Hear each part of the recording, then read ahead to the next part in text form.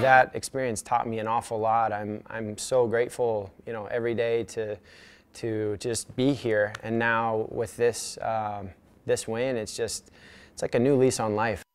A Henderson man is $3 million richer after an amazing run during the World Series of Poker. Garry Gates was eliminated last night, finishing fourth in the main event. Yeah, that was a great picture. But the best part of Garry's story, really, is what and how he survived to make it this far. And 13 Action News anchor Carla Wade spoke exclusively with Garry. She is live now with really his truly incredible story here, Carla. Uh, Todd and Tricia, up until today, Garry was spending pretty much every waking moment at the Rio at a card table.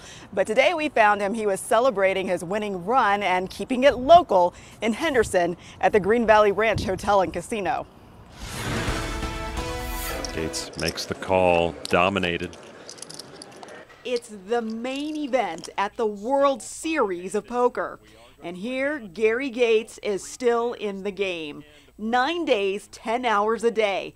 It's exhausting and exhilarating. I've been a poker player for a really long time, and you know, making the, the main event final table is, is pretty much the Super Bowl of what we do. And Garry was eliminated after going all in against a Canadian player.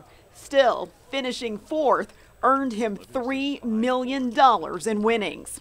But playing the cards he's been dealt took on a whole new meaning after he and a group of friends escaped with their lives and only minor injuries from the Route 91 Harvest Festival on 1 October. That experience taught me an awful lot. I'm, I'm so grateful, you know, every day to, to just be here. And now with this, um, this win, it's just, it's like a new lease on life.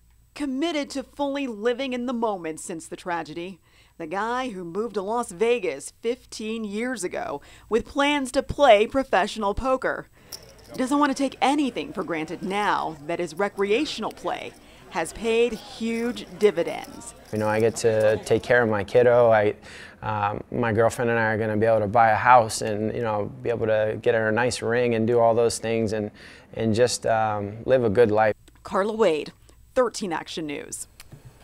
Yeah, great.